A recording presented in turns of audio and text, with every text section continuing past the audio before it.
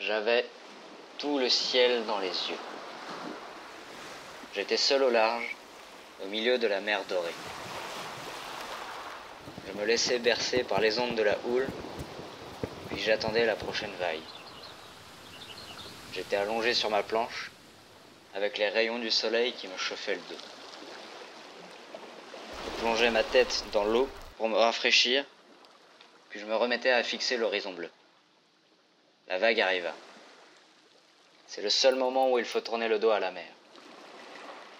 Je me suis mis à ramer, puis je me suis levé sur ma planche. Et voilà que je glissais sur le mur d'eau, accroupi, jusqu'à ce que la vague m'engloutisse et que l'écume me ramène sur le rivage.